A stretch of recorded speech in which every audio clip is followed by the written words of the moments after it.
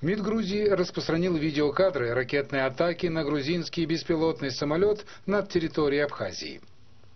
На кадрах видно, как истребитель пускает ракету и как она попадает в летящий объект, с которого ведется съемка.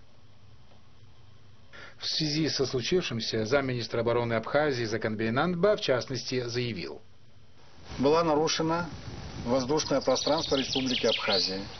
Мы вынуждены были поднять свою боевую авиацию и сбить данный летательный аппарат.